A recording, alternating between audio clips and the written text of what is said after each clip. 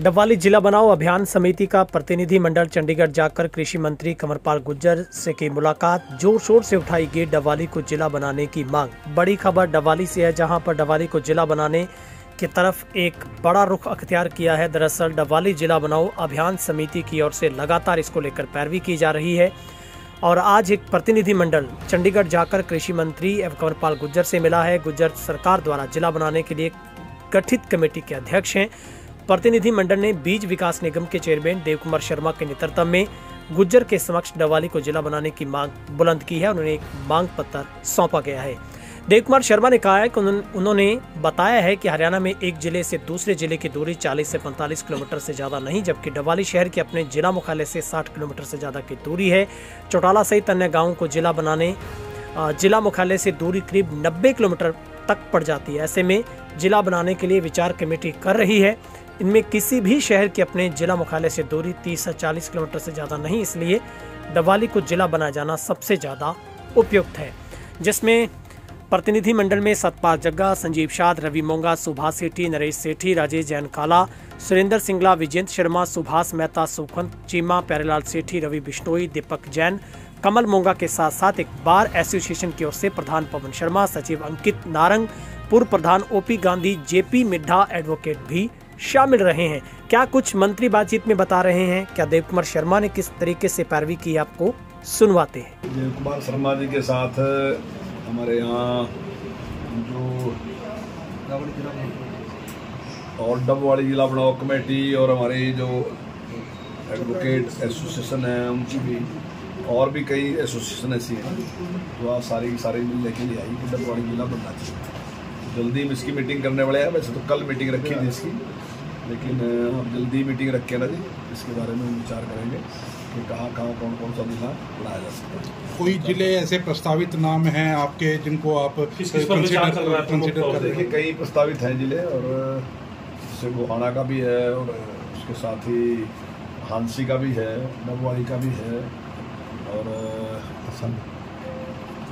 असंत। का भी है। तो उन सारों पे विचार करूँगा जो भी कब तक फाइनल हो जाएगा सर जब मीटिंग हो जाएगा जल्दी फैसला करेंगे इसमें इसमें कई मीटिंगें करने की ज़रूरत पड़ती है असल में। हम्म। एक बार में आप फैसला नहीं कर सकते। पूरा विचार करना पड़ेगा उस पर तो ऐसा ना हो कि कल हम एक फैसला कर लें उसके बाद लोग उसका विरोध लगे करने के। नहीं मैं इधर नहीं जाना चाहता। कुछ लोग कहें हम इधर नहीं जाना चाहते। तो इस प्रकार की समस्या ना आए उस हिसाब से। आपको चुनाव के लोगों की मांग कितनी वाजिब लगी आपको? आपके पास आए क्या विषय रखे नहीं देखिए अभी तो जो भी हमारे पास मांग ले गए रहे सब वाजिब मांग ही ले गए रहे। तो वो ज़रूरी समझते हैं तभी वो सब सब लोग हमारे पास आए हैं। लेकिन अभी उस पर हम विचार करेंगे सारे बैठे पूरी कमेटी चुनाव बिल्कुल नज़दीक है तेज़ी से सरकार लगातार घोषणाएँ कर रही है तो माना जाए कि चुनाव से पहले ये ज़िले बनाने वाली घोषणा भी हो सकती है?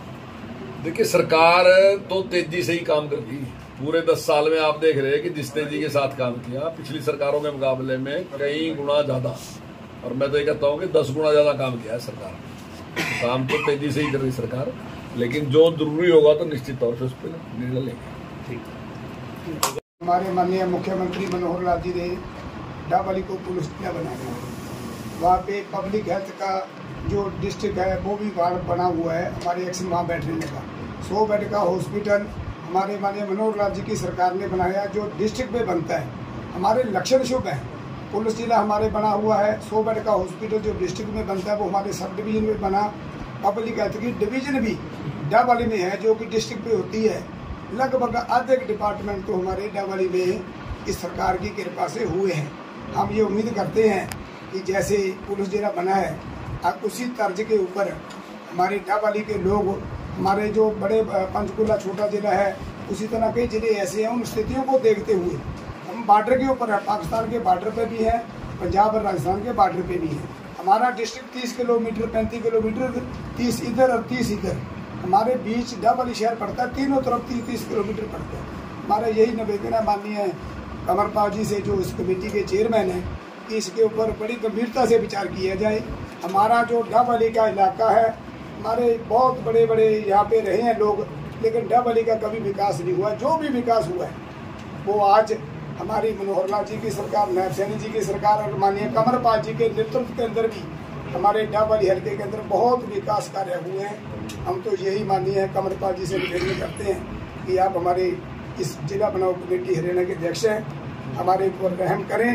हर गरीबों की कहते हैं, सुनो, भगवान तुम्हारी सुनेगा।